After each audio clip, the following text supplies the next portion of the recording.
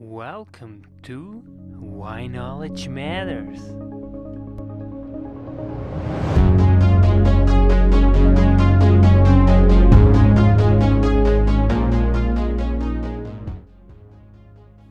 Welcome, Dr. Al Sharif. It's been great to have you. Thank you very much, Yannick. It's uh, my own pleasure to be with you today. I've seen many of your uh, YouTubes and I was really excited to be with you today. We are also very excited to have you, to be honest. Thank you so much being here. All thanks for you, doing great job. Today we will talk about communities, you, and how would you describe communities? So the word community, if you bring it to real English, it's the word come to unity. So we will never be in a good community until we come to unity. We come together. We come to understand each other. Look at it from this perspective. Uh, when you have a neighbor and he's from X country, let's say he's from Pakistan and or India, and you go to visit him, he will prepare you his own food or tea or whatever. And when you try it, give it a try and you feel it and you give him your like smile or, or your thanks, it will give him a power that he is welcomed in your heart. And that's the same when he comes to visit you. You bring him uh, some sweets from your country or a dish from your country and try to explain to him. That's the way we can come together. So the whole point of community is to bring the unity in with inside this group of people. Sadly, what we see on uh, small communities or bigger communities perspectives, we do not have that understanding. So we always judge people by their skin of colors, maybe religion, maybe their, their language. So uh, that's the whole point. You're judging people by something you've been educated on. But if we go through this part and do not judge people, do not make uh, uh, assumption that he is good or bad because of something on his skin or because of, of his color or because of his religion. So let's go in and talk to him. Uh, so the whole point of my vision is to knock the door of your neighbors and to talk to them, to go and talk to strangers, to explain to them who you are. So if you look at this perspective, the indigenous people, let's let's talk about the indigenous people. Uh, the, the government of Canada and I think the United States trying to make some talk between nation to nation. However, I think it's failing.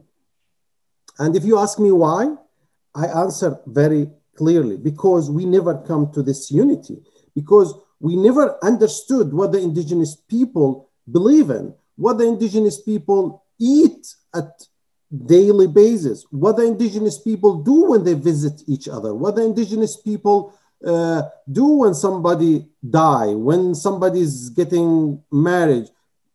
I, I assume, like I think 90% of Canadians do not know these answers. Why? Because we did not try to even go and find an indigenous person or, or family and make a friendship with them. Maybe try to visit them. Uh, you know that they like, for example, to uh, give tobacco as a kind of, of respect to each other. Maybe in other culture, giving this tobacco, it's it's not good because uh, tobacco is harming your health. So why are you giving me tobacco? So you have to understand this perspective. You have to believe that these people on this land, not because they've been born here, no, because they've been here and we have to respect them and they have to respect us. And that's the whole point. I've talked to many indigenous people. They never say that, guys, you newcomers go back to your countries. They never say that. The problem when you see racism within the community, it comes from people who came from somewhere and because you are black or because you are brown or because you are Asian, they will tell you, or because your accent is not Canadian, they will tell you, go back to your country. But excuse me, where you come from, okay? So this is the land of everybody. And the indigenous people believe in that. They never say that you have to go back to your country. They are the people who were born here for thousands of years. So the way we have to respect them is not just to put on paper that we need to make uh, reconciliation with them. It's the way we step one extra step and do this reconciliation. When we go to really understand their culture, their religion, their drumming, their dancing, their singing, their throat singing, whatever, you know, I always say, like, I'm respectful that I'm standing on an indigenous land that was unsurrendered and I respect those people, the indigenous people of this land. That's why I put this in my bag. It's it's it's I feel it. This is their land and we have to respect them the same way they respect us. What made you interested in communities? You know, Yannick, this is this is the earth we inherited from our parents and we want to give it back to our children. But do you want to give your child a worse home that you lived in i don't believe in that you know everybody wants to leave his child in a better situation and that's the whole point. If we want to give this land to our children or our grandchildren we have to leave it in a better place.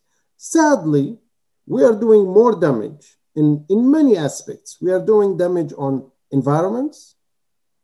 The 20 years the, the last 20 years only, the damage we made in environment, it's tremendous.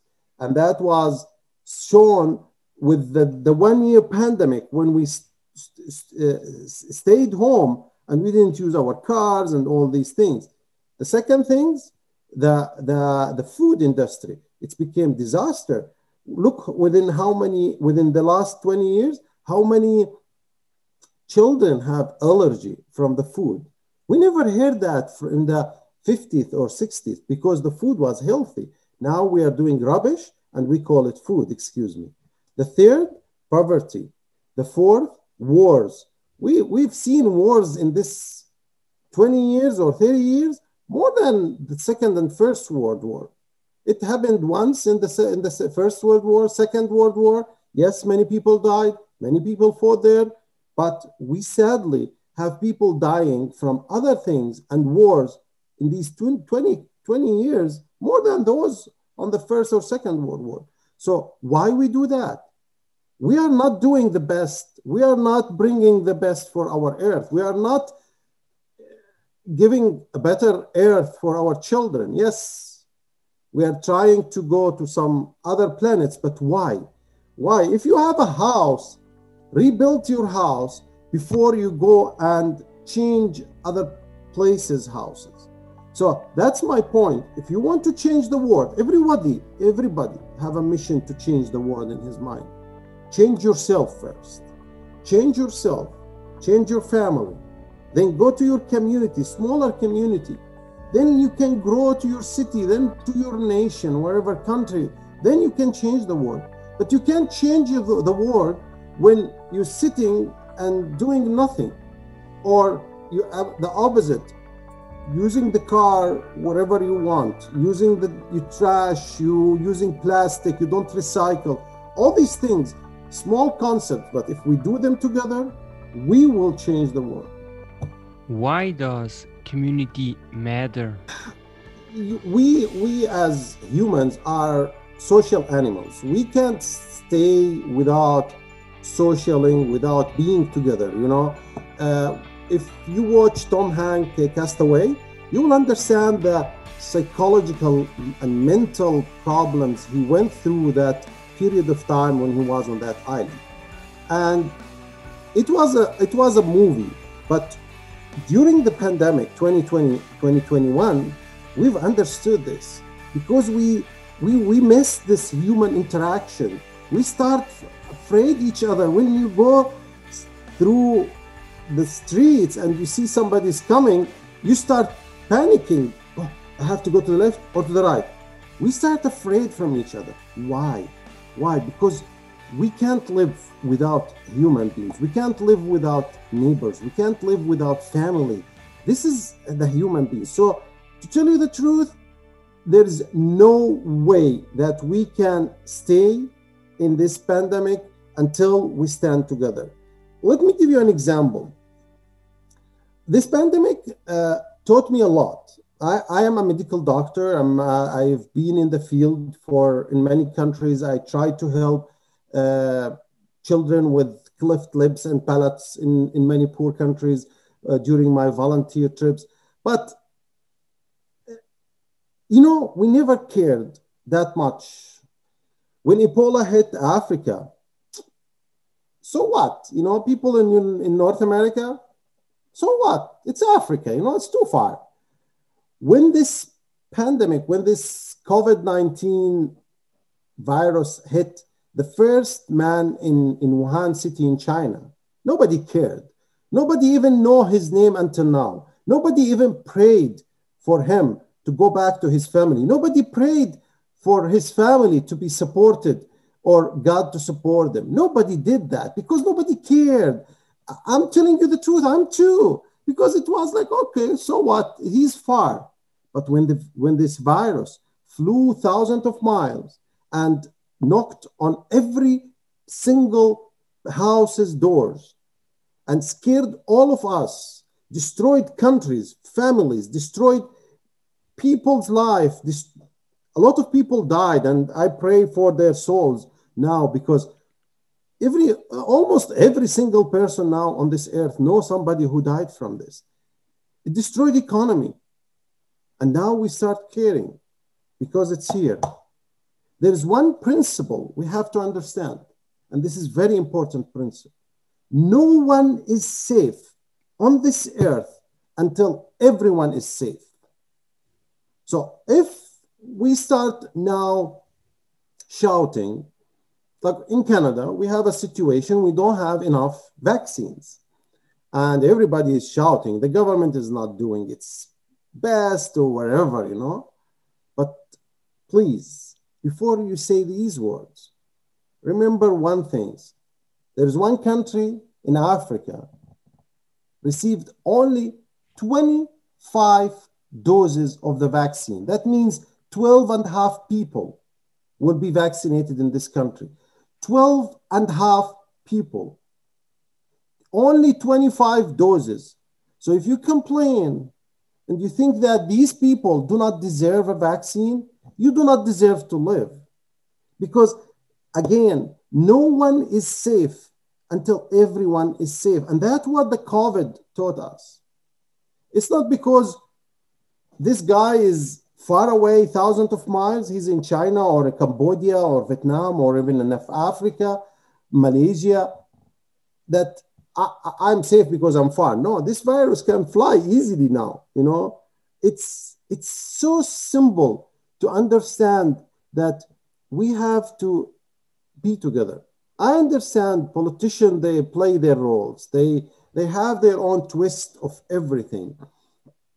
That's totally up to them. But we humans, we people, we nation, we have to understand most of the media, sadly, they, they, they try to infiltrate information in your mind. Look at the media now, okay? there are too many people against this whole pandemic, the anti-mask movement or whatever you call it, or anti-pandemic movement, and they think that there is no virus. I understand them. I have to respect them. I have to respect their views. But at the same time, I have to tell them, as I respect your view, you have to respect mine. Okay? Your view, it depends on some information you got from some sources I got my view from other information. Let's sit together and talk. Let's bring these information together and decide which information is more kind of acceptable to minds. And that's the way we can go to a, mid, middle ground where we can understand each other. It doesn't matter if he fully go believe in this mask or I fully do believe in anti-mask, but at least we understand that we have to respect each other. My decision of wearing mask, his decision of not wearing mask, it's his decision. So this is an example of a huge problem happening now in the community. People start shouting, cursing them, and they again cursing these people. So it will be a circle of of doing bad and bad and bad and bad, and it will never end. That's the whole point.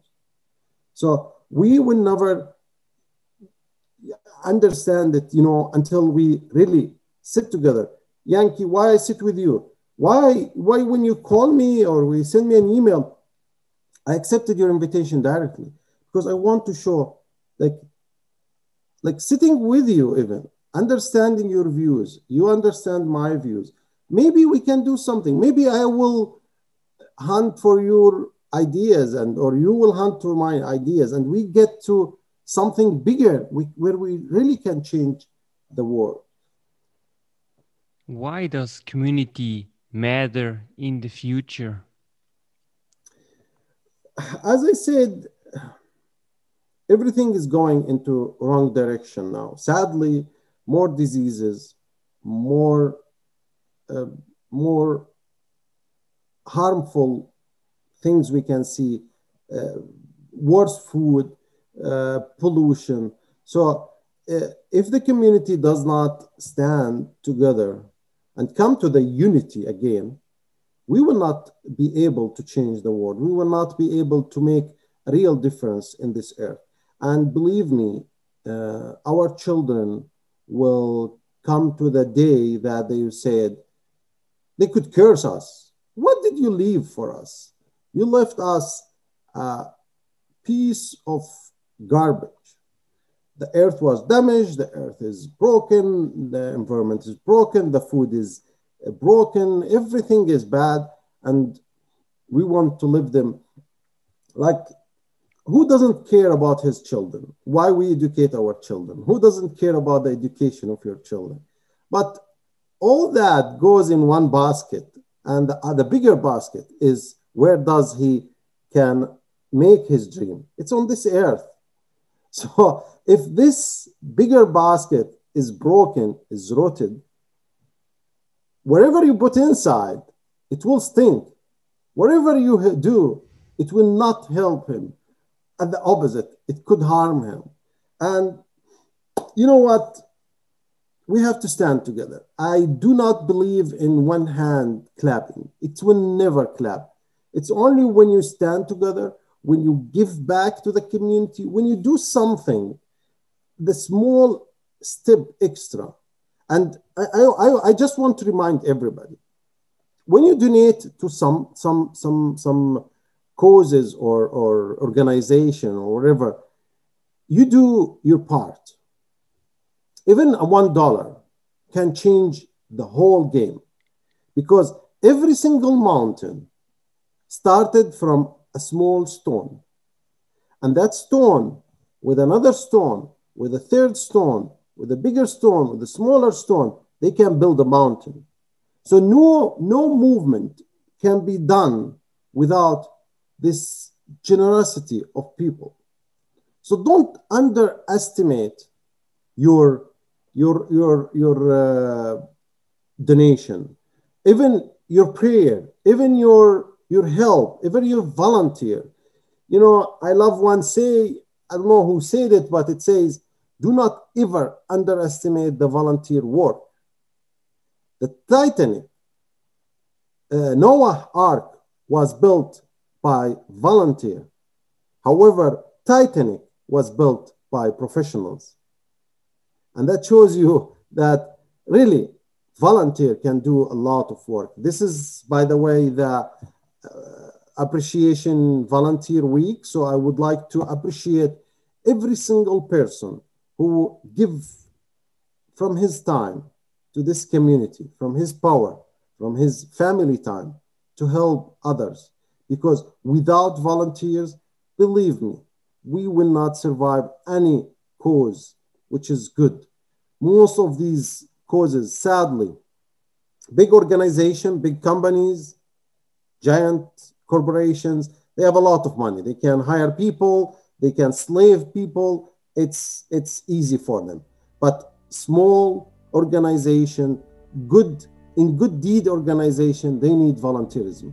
They need those volunteers. They need your donation. So please try to help them. Go, you know, I, I, I just want to say one thing, others. It's community. So when you speak about community, with the, within the pandemic, many, many local uh, businesses were destroyed because most of us now go online, open an app from a huge companies and buy whatever we want from that company. It will, it will be delivered easy to our house. However, we are destroying our local businesses. So my suggestion is pay this extra 50 cents or one dollar and go by yourself.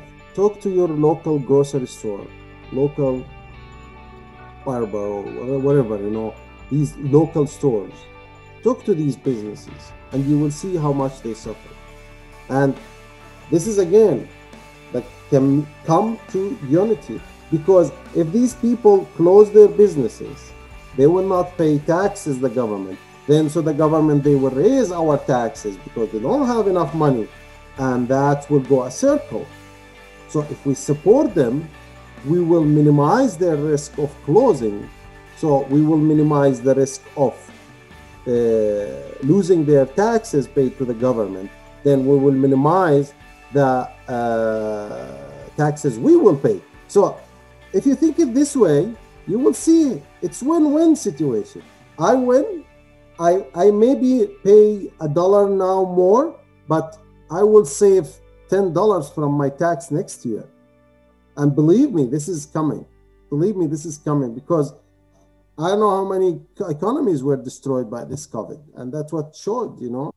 Your favorite book and wishes for the future? I do read a lot of books. Uh, my uh, my favorite book, uh, I, I, I, can't say my favorite, you know. Uh, I love the 100 uh, Best uh, Humans Living. It's a nice book. there is a, a, book written by Dr. Abdul Aziz uh, about his daughters. Uh, I forgot the name. I shall not hate. I shall not hate. This is a very beautiful book. I suggest everybody read it. Uh, and I do wish everybody to be safe during this pandemic time, after this pandemic time, and do wish everybody to come to unity to build a better community. Thank you so much, Dr. Al Sharif, and thank you for sharing your very important message to our viewers. Thank you. Yannick, I, I would like to, to thank you uh, for what are you doing. Uh, it's a great job. Uh, it's not easy uh, to bring people together. You are doing what the come to unity things. So uh, wish you all the best, uh, and I hope this people listening will share these videos they will subscribe to your channel and will support you as much as they can. Thank you so much. Wonderful. Dr. Al Sharif. All You're the welcome. best. Thanks. You're welcome. Thank you.